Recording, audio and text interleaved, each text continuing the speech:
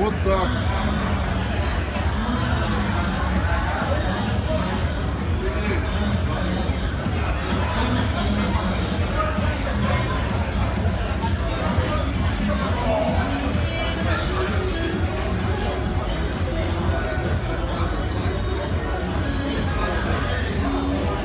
В сердце UFC находится в первом построенном кампусе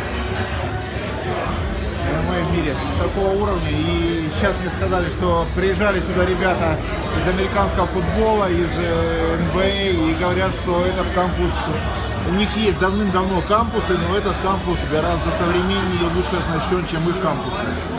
Ну, в принципе, вот так.